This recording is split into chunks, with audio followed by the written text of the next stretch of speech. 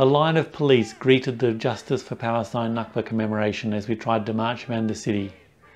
Activists vowed to come back next year and defy any attempt to restrict our right to march.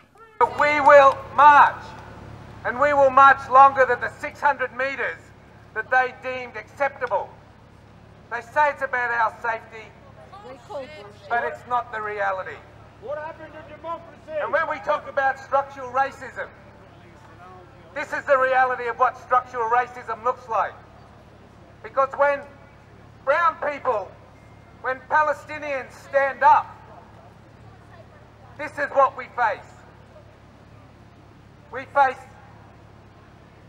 a line of police cars that tell us we can't march around this city, as hundreds of rallies have done for many, many years. They said we're not responsible. Look at us. What threat are we?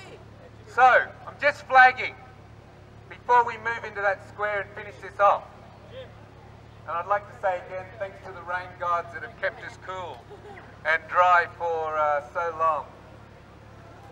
I'd like you to make a commitment this year with us, not only to be here, but a commitment that we will march through this city on our terms, as is our right.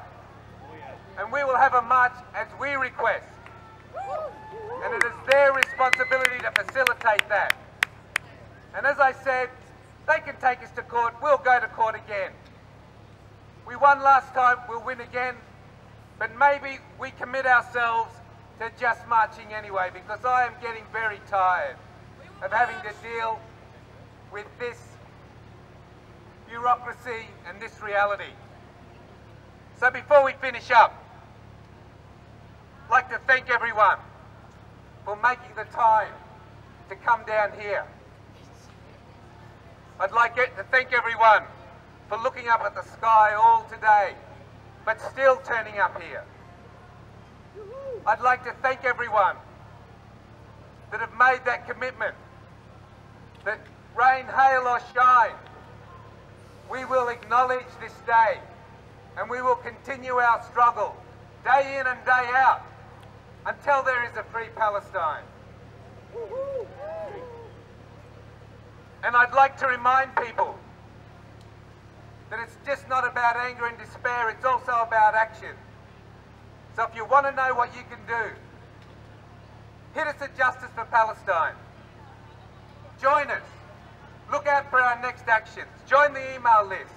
Join the Facebook, Facebook group so that you can hear about our actions. Because I think over the next month we need to send a message to the establishment of this state as represented by the Queensland Maroons that it's not acceptable to be complicit with a state that can before the world's eyes assassinate a journalist with a bullet to the head. I don't think it's acceptable that Puma can sponsor the Israeli sports team and can also sponsor that Queensland Maroons. So if anyone here knows sports fans, anyone here knows players, anyone here knows up and coming players, anyone here who knows players of colour, speak to them about this. Speak to them about what Puma does. At the very least, we ask them to cover their badge on their sports uniform has been done in many places around the world.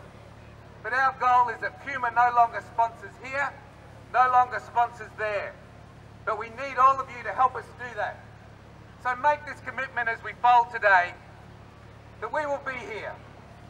We will be here when the bombs start to fall, but we'll also be here when we need to organise and when we need to organise together and build the solidarity that will one day let us all walk and let the people of Palestine walk in a free Palestine. Thank you.